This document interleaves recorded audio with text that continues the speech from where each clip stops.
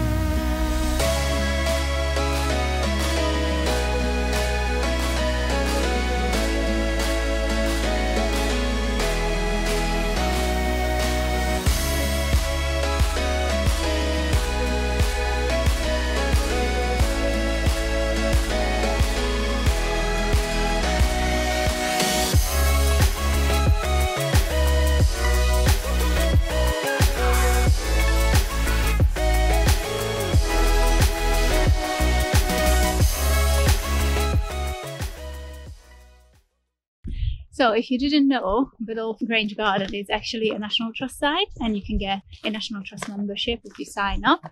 We've done that for this year. It works out around £10 a month and that's like for a joint membership. So that's £5 each a month, which we think is pretty good because these places, if you just come on a one-off basis, you pay like eight to £10 per person every time you come. So definitely worth it. So if you are interested in finding out more about the National Trust memberships, then we will leave a link.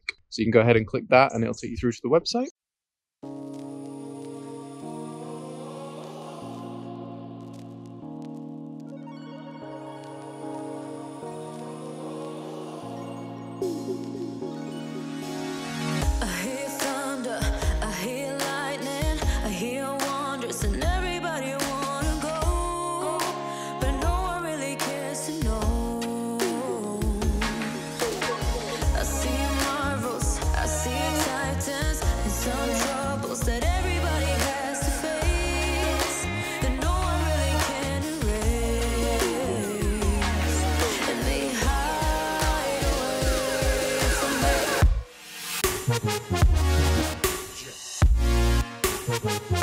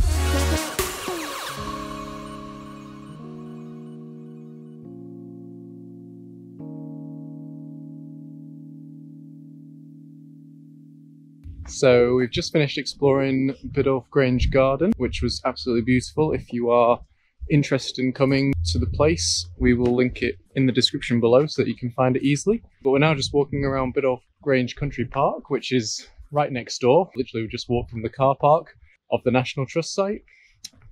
And yeah, it's really pretty so far. So we're just gonna have a wander around, see what we can find.